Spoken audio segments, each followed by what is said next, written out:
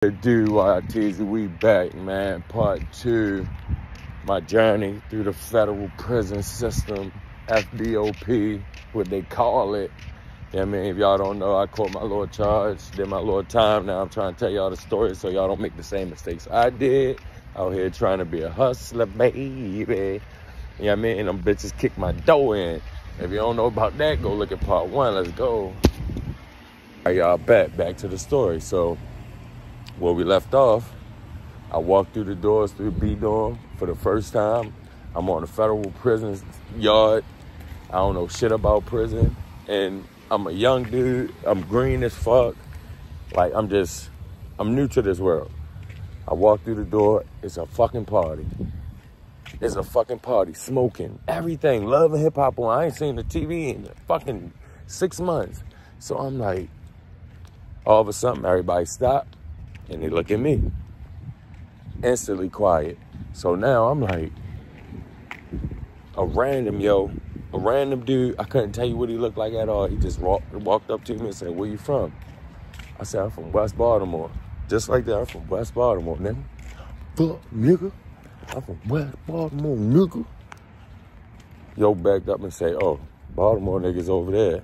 He pointed to the corner on the right. When I say, "Yo," it was it had been like eight niggas just staring at me like. So I look at them, walk up. They like, yo, where you from? I'm like, I'm from over west. They like, you from Baltimore? Where? Over west. I start spitting my hood. They like, oh, uh, yeah, I got people's over. All right, cool. What the fuck to do? They like, all right, you sell down here. They take me all the way to the back. There's a dude in there. He from Baltimore because when you with a Baltimore car, I get to all that. So he from Baltimore. He get in the cell. I mean, he already in the cell. I'm walking in the cell. He straight get up like, yo, what's up? I'm like, what's up, yo? Church and all that. He tell me his name. He walk out. That's all. He get some stuff and he walk out. The hell up when I say like 20 niggas come to my cell while I'm taking my stuff out my bag, the little shit that the prison give you, the soap and all that. Hella niggas come to my cell. Like, yo, what's your name is again, yo? Where your paperwork, bro? I'm like, huh, nigga snatch my paperwork. Yo, don't leave this cell till we come get you. If you leave out this cell, yo, we sending you back, yo, and we sending you on a stretcher, my nigga. We don't know you. We ready read your paperwork, make sure you good. I'm like, right, bet. That, that happen everywhere you go. That's cool. I'm like, right, bet. They slam my shell, that bitch locked. I say, yo, now I'm just sitting in the cell. Shit took like two hours. They come back, yo. When they came back to my cell, I, my cell just popped open. I don't know how they got the door open. It just popped open. Boom. Once the cell popped open, hella, all them niggas that was right there came back with hella bags of shit. Yo, yo, it was so much food, fucking drugs, cigarettes. It was fucking MP3 players, radios, fans, a TV, boots, clothes, jackets, hoodies, all this shit I ever could need, yo, in prison, my nigga. All them just giving me bags, giving me a five in the hood, welcome, bro, this and that, this and that, this your cell, this and that. So they're like, yo, I'm like, I'm, I'm now I'm starting to relax because I'm like, oh, all right, it's love, you feel me? Like, all right, bet. They like, yo, where you say you from again, yo? I'm like, yeah, I'm from 2700. He like, yo, hey, oh, hey, yo, is a nigga say he from your block. I'm like, like, from my block, mind you, I'm thinking that everybody who locked up around my way, I'm like, ain't nobody in the feds. Who the fuck is they talking about? So all of a sudden, he's like, who from my block? I'm like, that voice sound familiar. A motherfucking come hit the corner. And my motherfucking Uncle Mike. I'm like, what the fuck? My fucking uncle. Mind you, he the fucking shot caller at the prison. Now, a shot caller is the person that pretty much did the most time and he an older dude. He carried a car. A car is pretty much your your clique, your gang. They don't call it gangs, they call it car. If you from Baltimore, you in the Baltimore car. You from North Carolina, you in the North Carolina car. If you're a blood, you in the blood car, a crip, crip car, and so on. So that's who you be with when the shit when the riots hit, that's who you ride with. That's who you hang with on the daily, that's who you do business with. If you black, you can't fuck with white people. The white people don't fuck with you if you're not white. So it's like rules to that shit. So My uncle come around the cut. I'm like, yo, what the fuck? This where you been at? I swear I didn't know my uncle was in the feds. He like, what's up, nephew? This and that, this and that. So we chop it up. He makes sure I got everything I needed plus more. So yo, like, yo, I, I, mind you, all this shit is so much adrenaline rushing. I'm like, yo, I gotta chill out. I, am like, yo, I want to chill, take a nap and all that. I'm trying to take a nap. My uncle bang on myself, yo, get up 5 a.m., yo, we going running.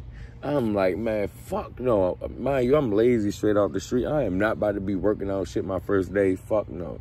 Yo, like, man, look, I need you to get up. I'm like, all right, bet. Five o'clock come. He up already stretching and shit. I put throw some shorts and shit on. We running. So we start walking the trail around the little uh, soccer field and all that. So he stopped, start tying his shoe. While he tying his shoe, mind you, while we walking, he explaining the feds to me. He like, I bet it run by cars. Like I explained, he like a shot callers. Every car got a shot caller, which is the leader. Like I said, he necessarily not the toughest dude, but he the smartest. He did the most time. He know what's going on and the COs and the officers, they talk to them before shit kick on so shit don't happen. So he let me know how that shit go. And then he also made me like pretty much had to make a decision because he know that I'm Piru, but I'm from Baltimore. So he like, look, nephew, you can't be hanging with the Bloods and be with us because when they kick off, you gotta know who you riding for. That shit don't work like that. You gotta choose one. But if you choose that side, you gotta stay there. Don't come to us when you need help. You feel me? I'm your family. I'm a ride for you, but other niggas not gonna do it because you're not in that car. So I'm like, man, fuck, mind you, the blood car got mixed in all type of cities. I'm like, man, hell no. So I'm like, all right, bet I'm a Baltimore nigga. So I'm with the Baltimore club car. So he explaining all that shit. Uh, don't talk to the white people. They not gonna talk to you. They won't sell you nothing. They won't help you if you on fire. I'm like, damn. They that's just how they is. They big on racing there. So every race hang with their own. He showed me the yard, where we hang at, where we don't supposed to go at, what stuff we work out with. The shit, the hand, our handball, our basketball court, like everything is segregated. It's crazy. He let me know at lunch, at dinner, we sit on this side. The Jamaicans got this side, the Mexicans this side. Like, I'm like, what the fuck? So we just walking. So all of a sudden, my uncle stopped, act like he tying his shoe.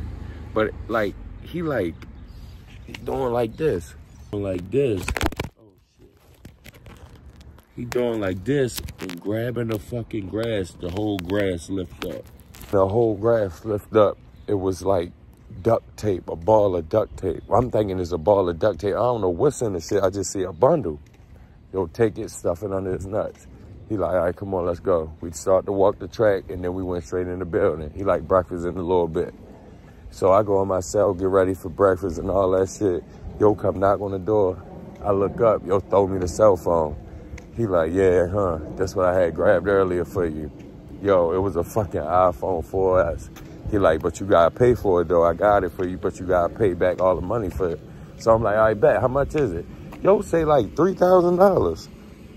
I'm like, what the fuck? I'm like, hold on, this shit, I, mind you, it's like an iPhone 10 and all that shit out. I'm like, yo, that's a fucking the oldest phone possible.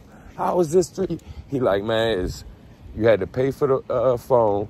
The phone was like 500.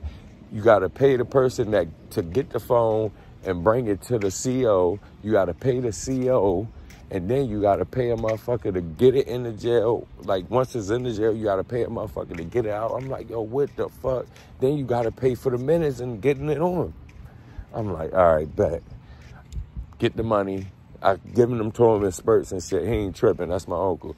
So that, I, I ain't gonna lie. That was the best though, cause I got to FaceTime my daughter, shit like that. So I was good. I had the phone. I was collecting funds. I was taking care of business. Oh my God, I was watching porn till my eyes bleed.